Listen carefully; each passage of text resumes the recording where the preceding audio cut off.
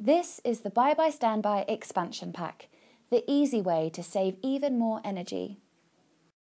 I will be showing you how to set up this product straight from the box. Once opened, you will see the box should contain two Bye Bye Standby sockets and one instruction manual. Please note you will need the remote control from the Bye Bye Standby starter kit in order to use the expansion pack. You will have already purchased the Bye Bye Standby starter kit and set up your first socket. You can see that this one here is currently controlling the lamp and is set to channel 1 on the remote.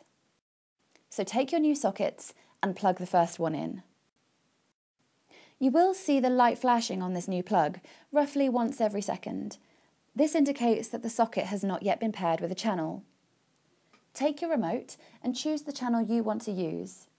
Simply press and hold the green on button on row 2 until the LED on the socket plugged in flashes rapidly, before returning to a slow flash. This has now been paired successfully. So now plug your next Bye Standby socket in and repeat the process. Note the slow flash. Okay, so grab your remote again, choose the required channel, hold it down exactly like last time and watch for the rapid flashing on the socket. Once it's paired, it will return to a slow, steady flash. Now that's done, finally grab the appliances you want to control. I've gone for an iPhone charger for this second socket. Simply plug it in as you usually would, grab your remote, and press the green on button on your allocated channel. So in this instance, it's 2. You can see here how the iPhone has started to charge. The pairing has been successful and you are controlling the iPhone through the remote. To turn it off, simply press the red off button on the same channel.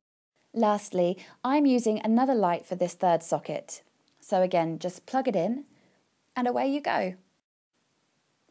You can see here all three appliances are all off, as indicated by the fact the LED light is off on all three sockets. By using the remote control, you can control all three appliances as and when you wish, it works from up to 30 metres away and through walls and ceilings too. It's as easy as that.